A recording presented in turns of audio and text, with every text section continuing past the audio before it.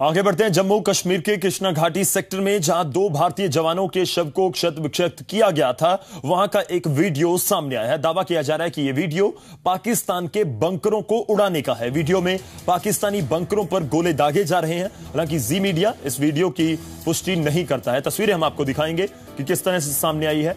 शहीदों के अपमान का बदला इसे कहा जा रहा है और एक ये वीडियो जो सामने आई, वो आपकी टीवी स्क्रीन पर। और ये किस तरह से जो हम आपको लाल कलर के गोले में दिखा रहे हैं कि कैसे एक तोप का गोला एक चौकी की तरफ़ बढ़ रहा है और उसके बाद एक बड़ा धमाका होता है और ये पोस्ट निस्ता नाबूत हो जाती है। ये तस्वीरें आपके सामने एक बार फिर से आपको ज़रूर दिखाएँगे।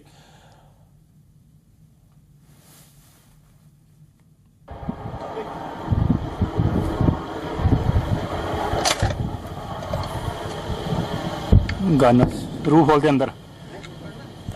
तो ये वीडियो वायरल हो रहा है, हालाँकि Zee Punjab Haryana, Himachal Zee media इस वीडियो की पुष्टि नहीं करता है।